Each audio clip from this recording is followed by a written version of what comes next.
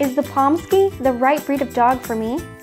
Did you know that the Pomsky is actually a designer dog breed that comes from crossing a Siberian Husky with a Pomeranian?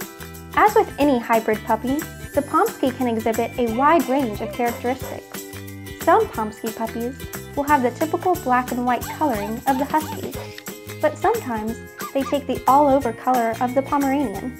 Some will have blue eyes, some green, or in rare cases, they might have two different color eyes. Considering that both of the parents of this breed are active and playful, it only makes sense that the Pomsky will also be an energetic member of the family.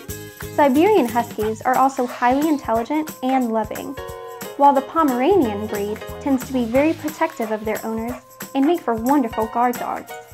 A Pomsky puppy is so unique in that they could display any combination of these traits and be a perfect addition to many different types of families. Contact us today to learn more about the Pomsky.